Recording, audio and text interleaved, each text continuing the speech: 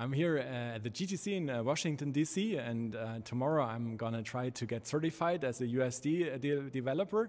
Um, and I think it's very important uh, to to get uh, like this um, whole end-to-end workflow um, yeah implemented with OpenUSD because yeah it, it gives your your sovereignty back for for your your own data, and we need people to to actually build these digital twin asset pipelines.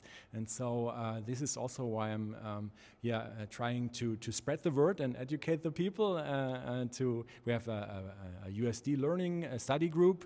Um, and yeah, it's it's great that NVIDIA also like uh, gives out such a lot of documentation and tutorials and uh, like all the work Edmar is doing uh, with his team and uh, and all the live casts. So um, yeah, it's it's just you need to pick it up, uh, integrate it, and, and then get certified. So uh, yeah, let's let's do that. You know?